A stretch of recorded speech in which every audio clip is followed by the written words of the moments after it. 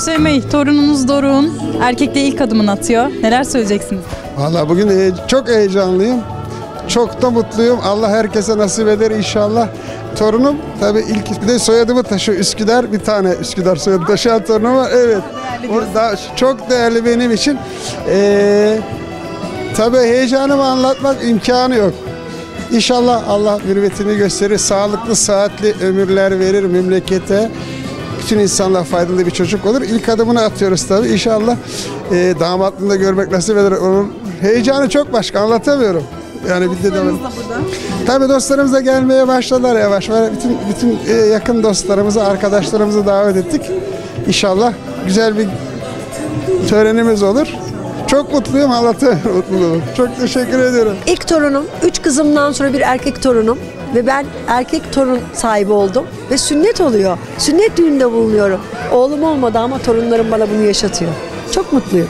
Başka ne diyebilirim ki? Doruk erkekliğe ilk adımını attı. Neler söyleyeceksiniz? Ee, çok mutluyuz. Bu, bu güzel duyguları her ailenin, her babanın, her annenin yaşaması gereken bir duygu. Allah inşallah uzun ömürler verir. Damatlığını görürüz. Sağlık saatle hep beraber bu şekilde. Amin. Amin. Anne, annesine soralım. Siz neler söyleyeceksiniz? Gurur duyuyorum, mutluyum. Yani inşallah Allah uzun bize de ona da uzun ömür verir. Daha nice mutlu günlerimiz olur inşallah. Amin. Cemil cümlemiz. Sen neler söyleyeceksin? Çok şık olmuşsun. Ben çiğit.